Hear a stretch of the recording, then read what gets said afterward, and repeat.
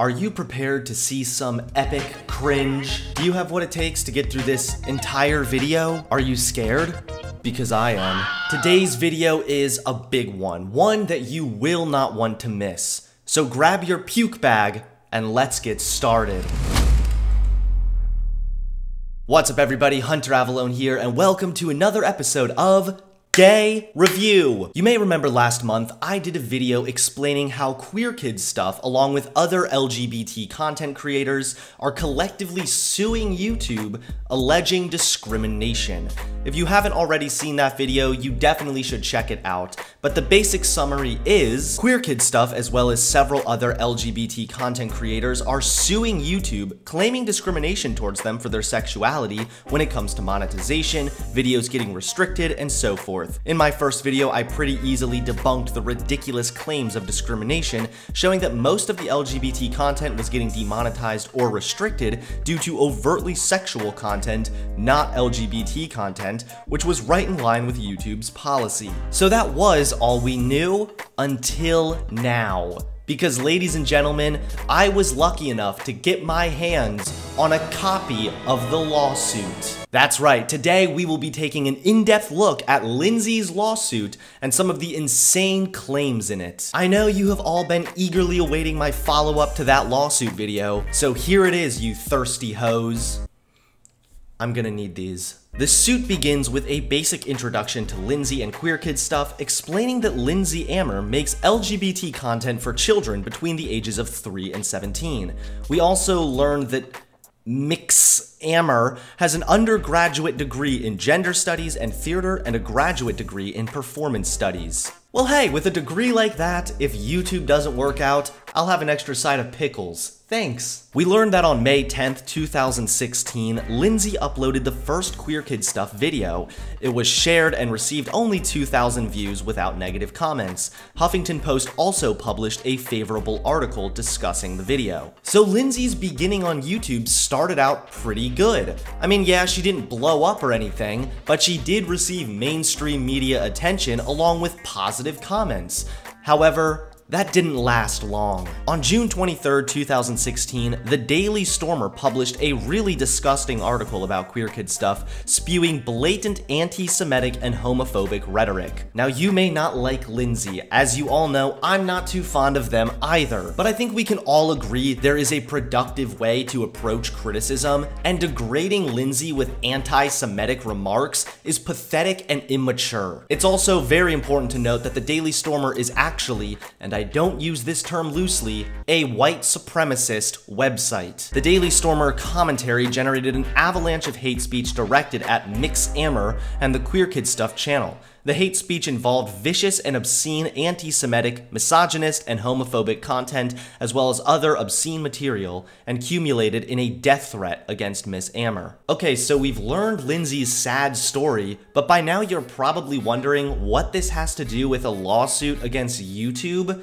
Yeah, well, here's when it gets really dumb. Defendants, meaning YouTube, permitted all of that hate speech to appear directly in the comments section of Mix Amer's Queer Kid Stuff channel. And although defendant Google finally removed the Daily Stormer from their platform in the fall of 2017, the hate speech directed at Mix Amer continued unabated on the channel. So Lindsay is blaming YouTube for permitting hate speech in her comment section. What exactly should YouTube have done? Obviously getting dogpiled is no fun, but how do you blame YouTube to the point of a lawsuit over this? You even admit that Google did remove the Daily Stormer from their platform, which is true. So how exactly do you come to the conclusion that this is YouTube's fault? It sounds to me like you're blaming YouTube for the fact that the majority of people just don't like your content. I'm sorry, Lindsay, but you can't have it both ways. Either YouTube is a platform that allows and promotes questionable content such as yours along with videos critical of you, or it's a platform that is careful with how they promote content such as yours, as well as protecting you from the hate with which you have issue. Next, we learned that Lindsay supports the right of all to express their viewpoint in a civil manner, but Lindsay does take issue with YouTube's systematic efforts to restrain or financially harm Mix Amer's content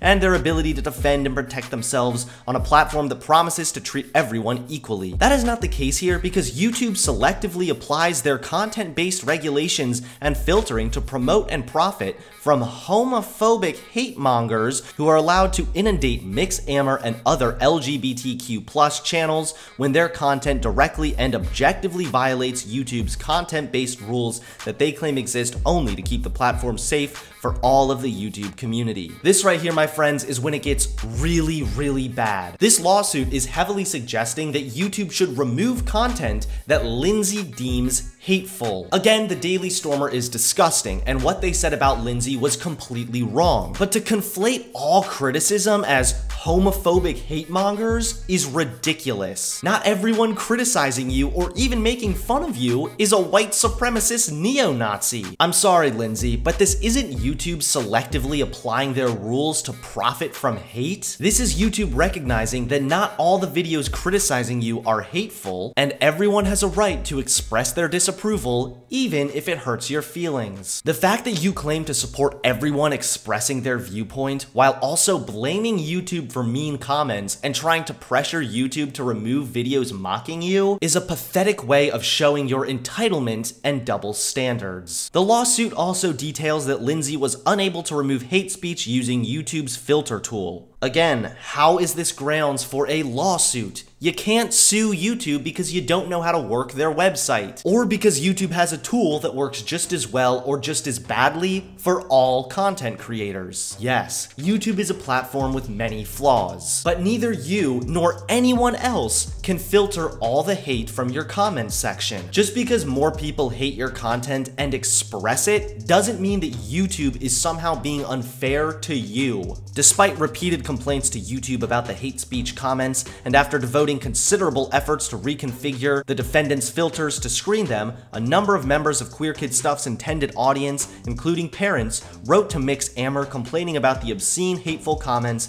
posted on the Queer Kid Stuff channel and informing MixAmer. Because YouTube failed to regulate or filter the hate speech directed to the Queer Kid Stuff channel between 2016 and 2018, MixAmer was forced to disable the comment section to the channel in the fall of 2018 2018 and to forego the ability to fully engage with and reach Queer Kid Stuff's intended audience with its content. This honestly sounds like Lindsay doesn't know how to use YouTube, so she's just suing. First of all, why on earth would you reach out to YouTube about your own comment section?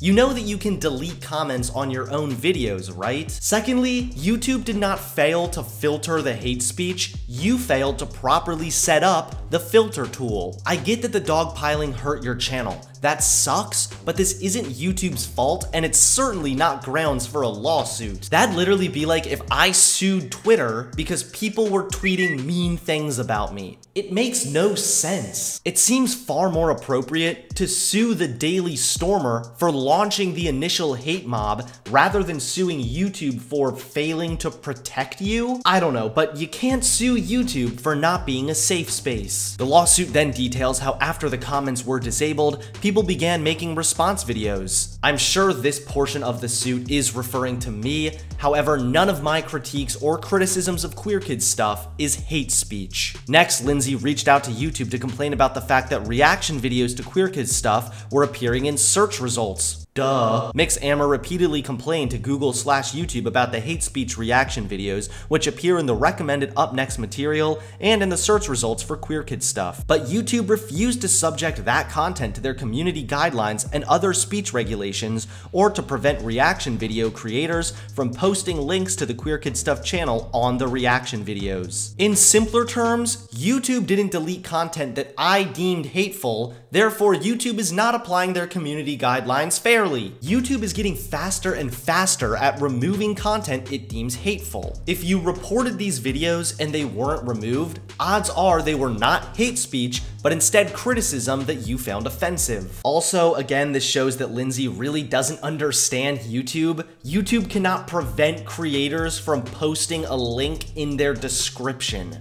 This is so ridiculous and such a shallow, weak reason to sue the company. It sounds a lot more like you got on the platform and shared some controversial opinions and then blamed YouTube when you received backlash. YouTube should be ashamed of themselves for promising LGBTQ plus consumers that the same rules apply equally to everyone and then singling out the LGBTQ plus plaintiffs like Mixamer and the greater LGBTQ plus community for content and monetization violations while promoting and profiting from homophobic hate speech that threatens violence and goes unregulated on the YouTube platform. Well, that's a pretty emotionally loaded conclusion. Also, I'd be really curious to know which videos are threatening violence that YouTube has allowed to stay on their platform.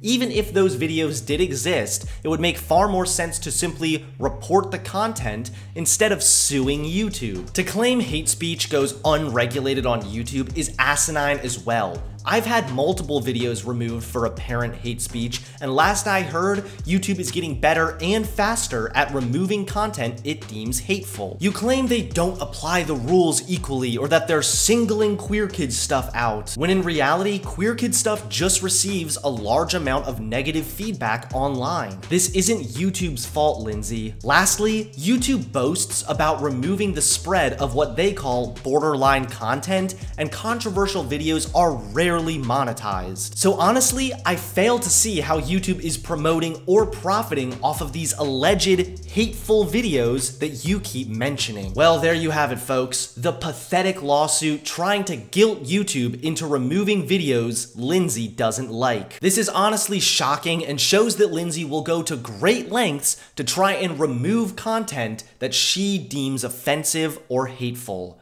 Please give this video a like, comment below, and subscribe to the channel for 420 years of good luck. Thanks everyone for watching. Peace.